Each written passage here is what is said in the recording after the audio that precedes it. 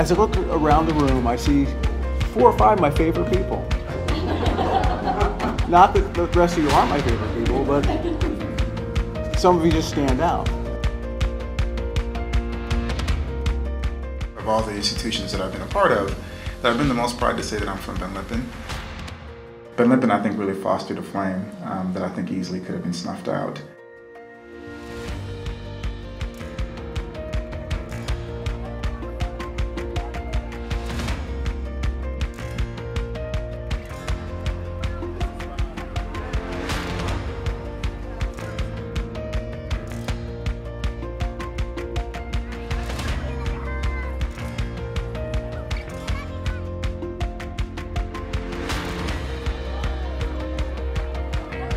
Sometimes we have these celebrations, and these celebrations are all about the individual.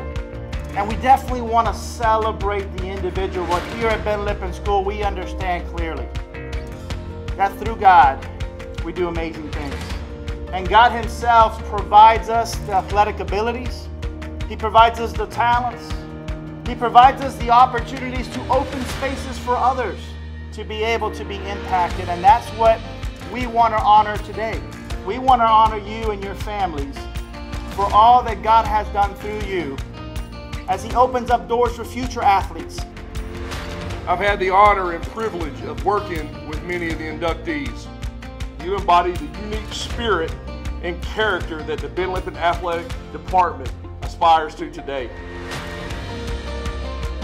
Dear Heavenly Father, Lord, we are so, so grateful for all that you have done here at Ben Lippen School for all that you continue to do today on the impact that we have had from the mountains of Asheville, North Carolina, to here in South Carolina and Columbia. We want to give you the honor and the glory for it all.